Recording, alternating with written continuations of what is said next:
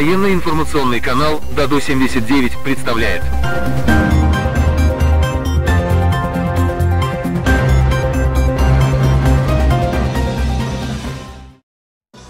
Экс-командующий армией карабахских сепаратистов Самвел Бабаян выступил с очередным скандальным заявлением, чем вызвал бурную реакцию в армянском обществе.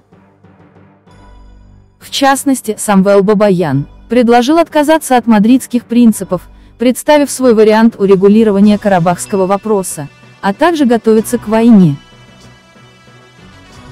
Есть механизм решения международных проблем. Острые конфликты решались путем предоставления территориальных мандатов. К примеру, Россия получает мандат, составляет карту и люди живут в очерченных границах.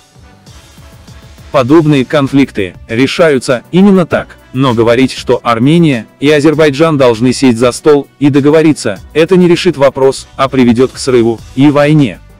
Сказал Самвел Бабаян.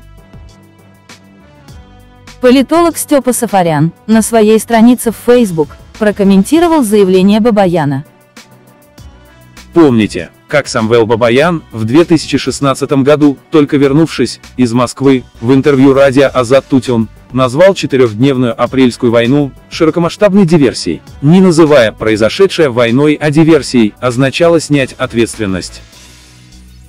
Для диверсий, международной ответственности, последствий нет, а для войны, есть. Теперь Бабаян говорит, что Карабах должен быть перемещен под мандат России, под программу, которая была разработана в России с 2008 года, концептуально изложена в 2012-2013 годы, и суть которой – российское военное присутствие в Карабахе, как это произошло в Абхазии, Южной Осетии и Приднестровье.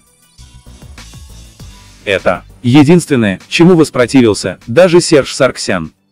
Что думаете вы? Пишите в комментариях. Спасибо за просмотр. До новых встреч! Спасибо за просмотр. Поставьте лайк, и если вы не подписаны на наш канал, то подпишитесь.